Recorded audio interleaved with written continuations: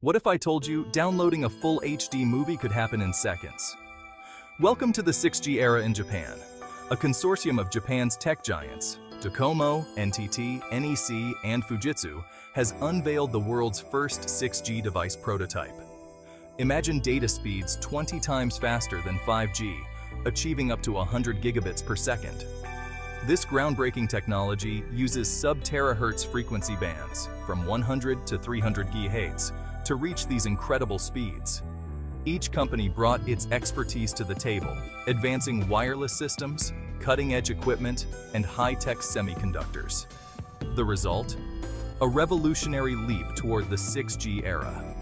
Ultra HD video streaming, real-time autonomous vehicle control, and other data-intensive tasks will soon be a breeze. While widespread 6G adoption is still a few years away, Japan's successful prototype solidifies its position at the forefront of wireless technology innovation. Stay tuned, because the future of connectivity just got a whole lot faster. Uh,